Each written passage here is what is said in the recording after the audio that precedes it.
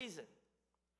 Today's text says that when the sons of Israel went astray, Zadok and his sons did not go astray, but they kept the charge in his sanctuary. What does that mean? To put it simply, when all of Israel betrayed God, the sons of Zadok did not. This person named Zadok did not. He kept his place, he kept his faith, he was faithful. So that's why God is going to bless his descendants. So now, here, when it says the sons of Zadok, what, uh, who exactly are we talking about? Are we talking about his physical, fleshly descendants? Because right now, a couple of thousand years later, 3,000 years later, I don't think we could find any true descendants of Zadok today, right? So, what does the Bible mean? It means it's talking about, for example, when it talks about the sons of Abraham, descendants of Abraham, who's it talking about? It's talking about people who had faith like Abraham, right? When it's talking about sons of David being blessed, it's talking about people who had faith like David. So when it's talking about sons of Zadok here, it's the same thing. People who were faithful until the end, like Zadok. Those are the ones that God will let enter into the New Jerusalem and serve God. So, all who are faithful to God in the midst of hardships, in the midst of trials, and in the midst of a time where everybody else is betraying God, those are the true descendants of Zadok. So, let's study a little bit about Zadok's history. Number one, Zadok was faithful to David during Absalom's rebellion. Remember Absalom, he was David's third son. Very handsome, right? What did he try to do though? He tried to revolt against his own father and take the throne. He drove his own father out of Jerusalem and he tried to usurp the throne by starting a rebellion, right? And that is when Zadok remained faithful to David. He came with the Ark of the Covenant. While David was running away from uh, Jerusalem, the Bible says he ran out barefoot because he didn't have time to put on his shoes. That's how urgent the situation was. And Zadok the priest came with the Levites carrying the Ark of the Covenant, saying, We will go with you because you're the true king. Because you're the king that God made a covenant with, right? But David said, No, no, no, no, no.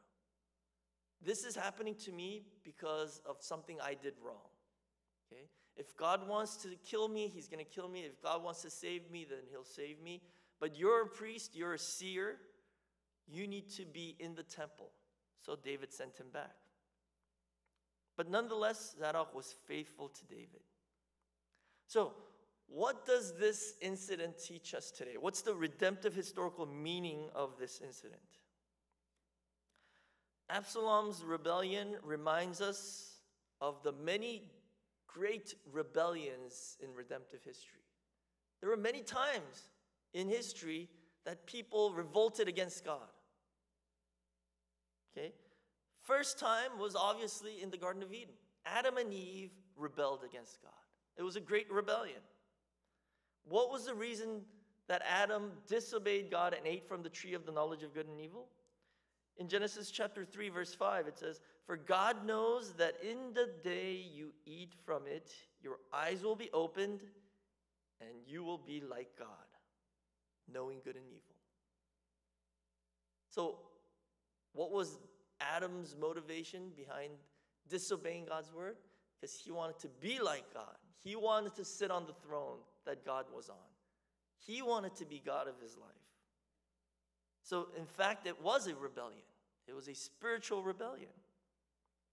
They disobeyed because they wanted God out of their life and they wanted to be God. Do we sometimes do this in our lives today? Does this happen?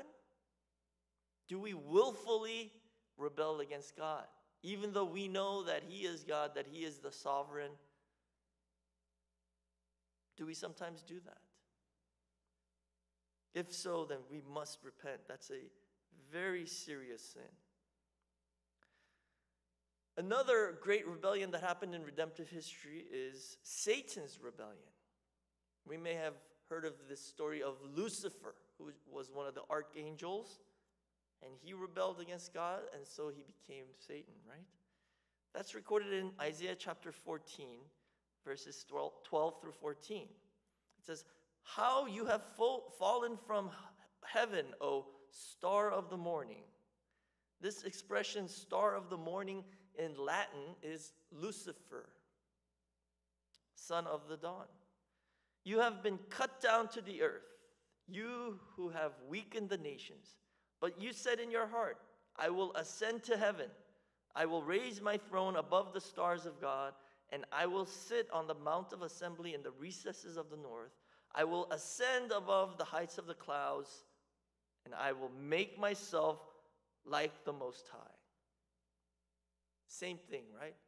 What, it, what was Lucifer trying to do? He wanted to be like God, he wanted to rival God, he wanted to sit on God's throne. And what was worse about Absalom's rebellion is that it was his own son. It wasn't somebody else, right? It was his own flesh and blood. Right? It wasn't like some general, it wasn't a cousin or a brother, it was his son. That hurts the most, right? And it was the same with God. Lucifer was supposedly an archangel, one of the highest angels. Adam, the Bible says, was God's son, whom he created, he loved. He made the Garden of Eden for him. See, throughout history, and you see in movies, it's always the person that's closest to you who puts the dagger behind your back, right? And the same thing happened in redemptive history as well. In the Bible, there are several words for sin. Okay? but I want to teach you about three words today.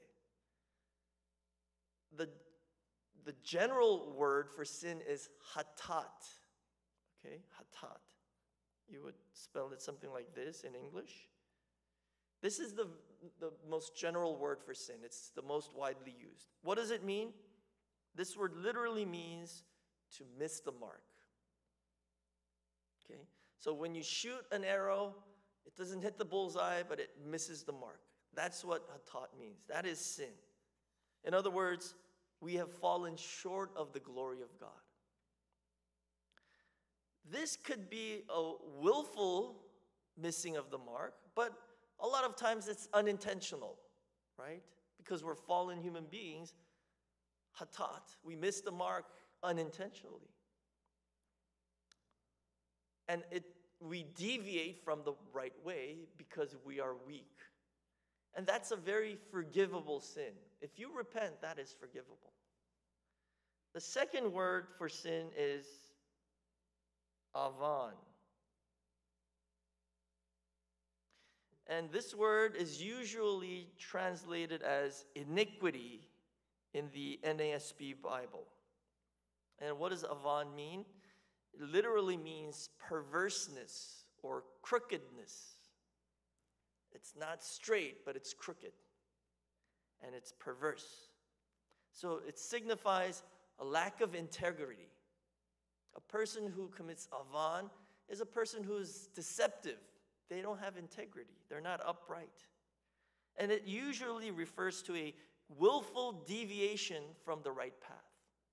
So this sin is a little bit more serious because this person knows that this is the right way to go, and yet they willfully go the other way or, or another way because they feel like it. They like that better. And all human beings do this, right?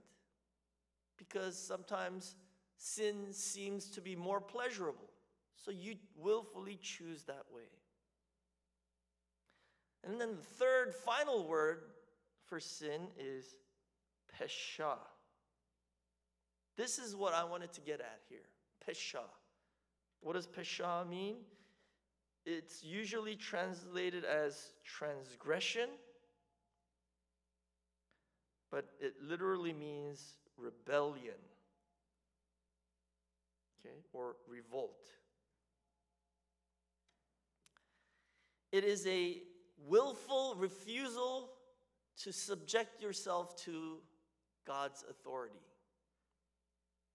So it's a deliberate challenge to God's authority, deliberate defiance and rebellion against God. And this is what Absalom did. He planned it out. I'm going to kill my father and I'm going to be king in his place. It was a willful, deliberate rebellion. And Pesha is associated with breaking of the covenant. So, when we break the covenant, this is the sin that we're committing. So, all three of these words are interchangeable. You could use them for sin in any context.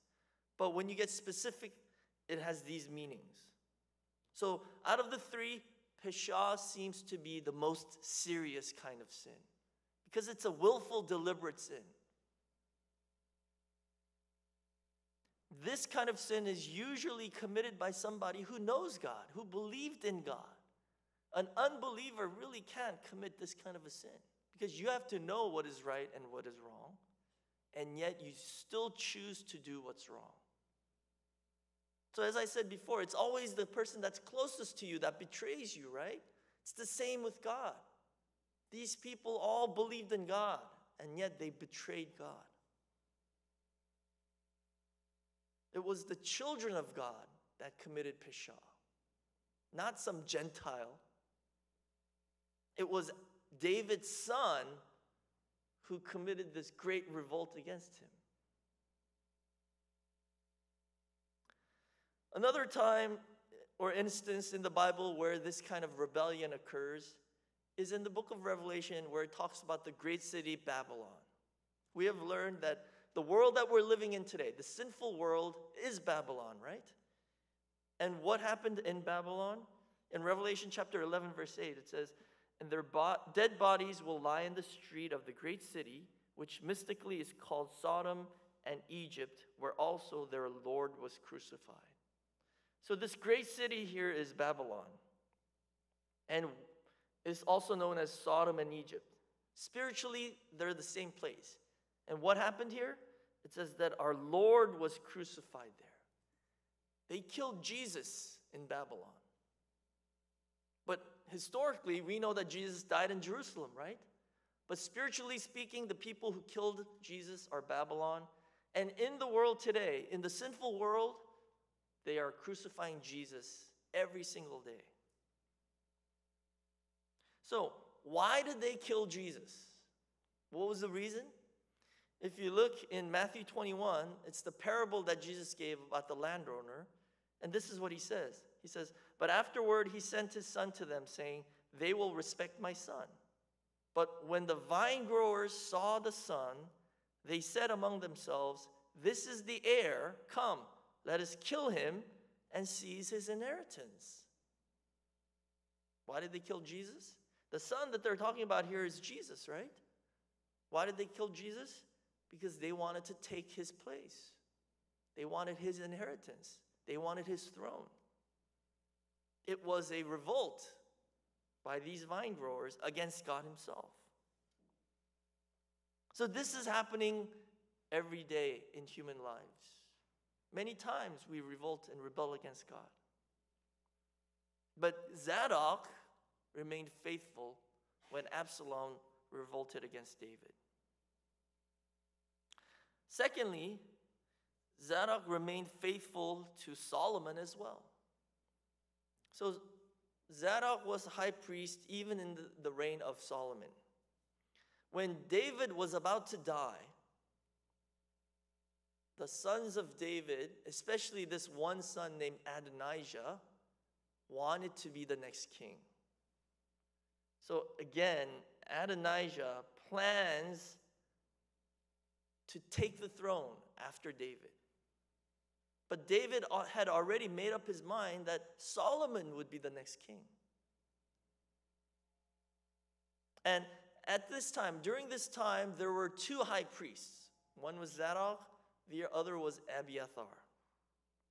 Abiathar sided with Adonijah, but Zadok sided with Solomon.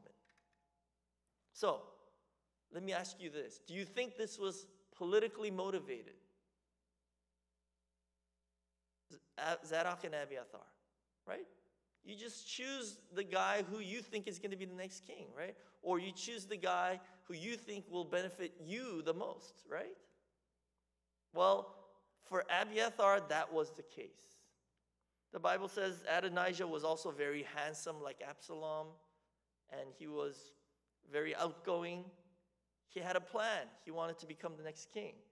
He had support from Joab and various other people. So Abiathar probably thought, okay, it seems like this guy's going to be the next king. I'll stick with him. But for Zadok, that was not the reason. Why do I say that? Because in 1 Chronicles chapter 22, verses 9 and 10, it says, Behold, a son will be born to you who shall be a man of rest, and I will give him rest from all his enemies on every side, for his name shall be Solomon and I will give him peace and quiet to Israel in his days. He shall build a house for my name, and he shall be my son, and I will be his father. And I will establish the throne of his kingdom over Israel forever. So here, this is the contents of the Davidic covenant. When God made a covenant with David, in 2 Samuel chapter 7, the same content is there, but it does not give the name of the son Solomon. But here in First Chronicles, it reveals that God had already told David, even before Solomon was born, that the next king will be named Solomon. So God had already prophesied this. Solomon was to be the next king. And Zadok knew this. So that is why Zadok stood with Solomon. Because it seems that Adonijah is older than Solomon. So if you were to go according to age, he was supposed to be king first. But Zadok didn't think in human terms like that. He thought in covenantal terms. The one whom God has covenanted, he will be the king and he's going to be the one to build the temple. So, from that day on, Abiathar was removed from the high priesthood because he sided with the wrong guy. Solomon became king, and Zadok became the sole high priest because he was faithful. So, the life of Zadok shows us what true righteousness is. And what is that? Righteousness in the biblical sense is covenant faithfulness. And that's the life of Zadok. He was faithful to the covenant. So, what is righteousness? It's covenant faithfulness, right? Keeping promises, being faithful to God's word. Because God is faithful to his word, so we must be faithful to his covenants as well. You know, nowadays people just make promises and they break it. It's our words have become nothing, right? It's meaningless. We take it so lightly, but that's not how it's supposed to be. We are humans in the image of God, right? God spoke the word and the universe came to be. The word of God is that powerful. And if we are in the image of God, our words also can have power because we're his children. But we, our words will only have power when we are covenantly, covenant faithful or faithful to the covenant. But we don't do that. People in this world, in this day and age, they say something and they just take it back. They lie like it's nothing. That's one of the biggest problems of this day and age. We have to be faithful to our word and faithful to God's word. So, the life of Zadok shows us and sets an example of somebody who is faithful to the covenant of God. Well, the Bible says no human being has been faithful like this, right? In Romans chapter 3, verses 10 through 12, it says, There is none righteous, not even one. There is none who understands. There is none who seeks for God. All have turned aside. Together they have become useless. There is none who does good. There is not even one. I mean, do you think God is trying to emphasize something here? He says, none, none, none. Nobody's good. Nobody's righteous. Nobody believes. So, what is the life of Zadok trying to teach us today? First and foremost, it's foreshadowing the life of Jesus Christ, who was faithful to the covenant on our behalf. This morning I talked about the covenant of redemption, right? That's the covenant that God made with Jesus before the foundation of the world. So before God even created the universe, he had already he already knew that the human being that he would create would fall and sin and betray God. So he was already starting to prepare for that and he already planned for our redemption before he even made us. And when he planned that redemption, the plan was that his son Jesus would go in human form and in die, he would die on our behalf for our sins. And God said to Jesus, Will you do this? Will you take the sins of all mankind? And Jesus said, Yes, amen, I will. And he obeyed. That's why we are saved today, because Jesus was faithful to the covenant. So in Philippians chapter 2, verse 8, it says, Being found in appearance as a man, he humbled himself by becoming obedient to the point of death, even death on a cross. See? He was obedient to the point of death. He obeyed all of the covenants that God had given to him. So when we believe in Jesus, his righteousness is given to us, and our sins are given to Jesus. So there is this exchange that took place on the cross. His righteousness became ours, and our sins became his. So now that we know this fact, and now we believe in this, that Jesus died for us like this, our lives should be different, right? We should change. Now we should look to Zadok and think, we have to become the descendants of Zadok. We have to be faithful like him. Because we want to be the servants serving God in New Jerusalem, right? So I want to tell you a story about a dog. Have you guys heard of that Japanese dog? Hachiko? did, you guys see this movie? I haven't seen this movie, but I heard about it. So, what is this story about? This, this dog, apparently, this dog has a birthday. He was born in 1923 uh, in Japan. So, he had, his owner was some professor at a university. And the owner would come by train, by subway every day, and he would get off at the Shibuya station. So the dog came to meet the owner every day. The dog was very smart, I guess. He came to the station to meet the owner every day. But then two years later, the owner died of cancer. So that's in 1925, right? But the story goes that the dog came to the station every day for the next nine years until he died. Every day, Hachiko came, came to the station to meet his owner for nine years, right? So I guess they have a statue of the dog in Japan. So why am I telling you this? I'm not telling you to go buy, uh, buy a Japanese dog or anything like that. But I'm saying this because even animals are loyal like this.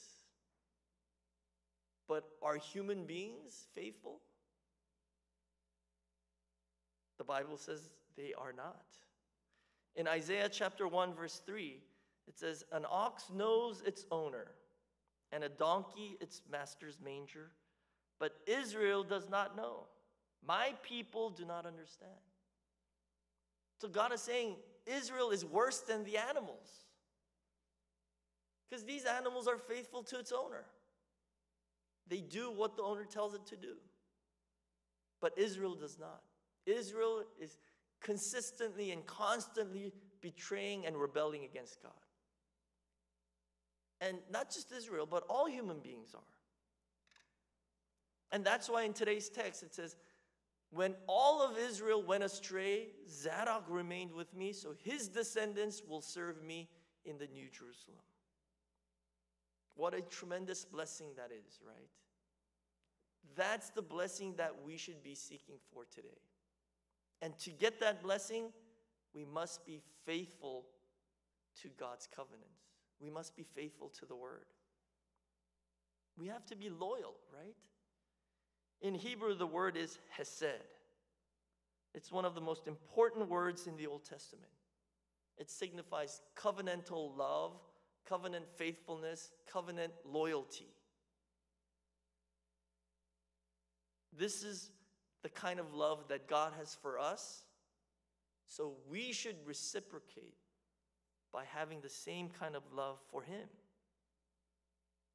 And when we do that, when we are faithful like Zadok, then we will be His servants in the New Jerusalem.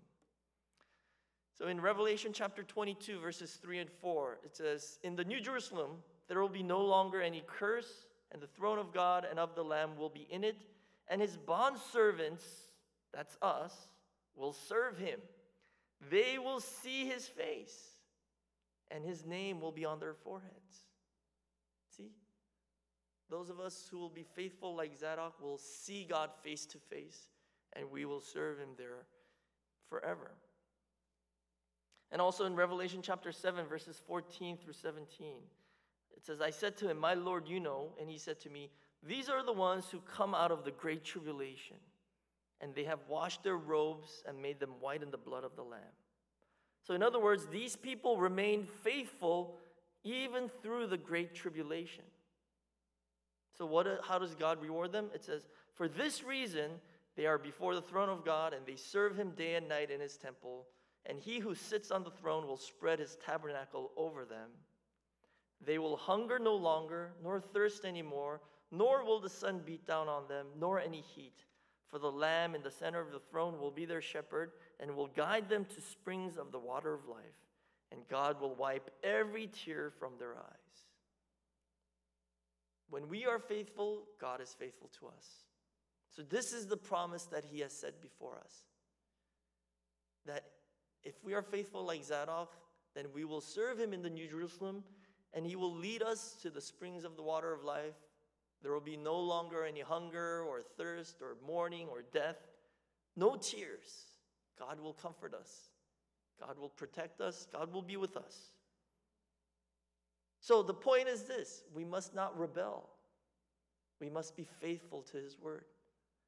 Covenant loyalty is what God is seeking for. So in the History of Redemption series, book six, it says, we, Zadok sets an example of a person whom God could rely on, God could trust on. He's a trustworthy high priest. When we think of ourselves, are we like this? Are we trustworthy?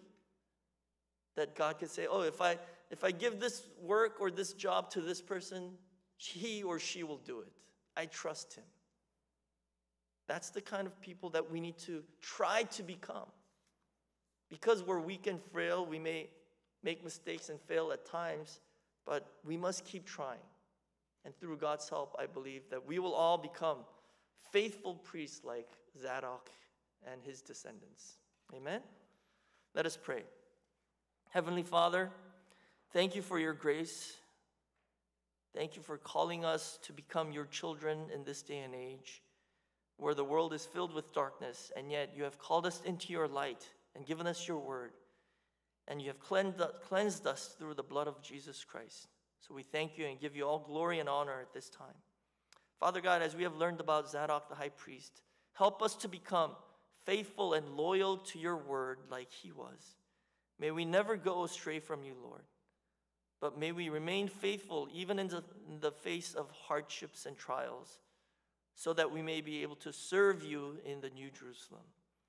We thank you so much for the blessing that you have given to us, the gift of faith, and the word of God that you have given to us. So, as an expression of our thanksgiving, we want to give this offering to you. Please bless this offering so that it may be used for your will, for your glory, and for your kingdom.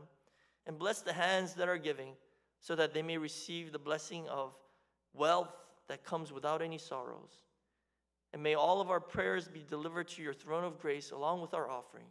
And please answer each and every one of our prayers so that we may know and believe and be assured that our living God is with us, watching over us, and walking with us day by day. We thank you so much, and we pray all this in Jesus' name. Amen. Let's give glory to God with our applause.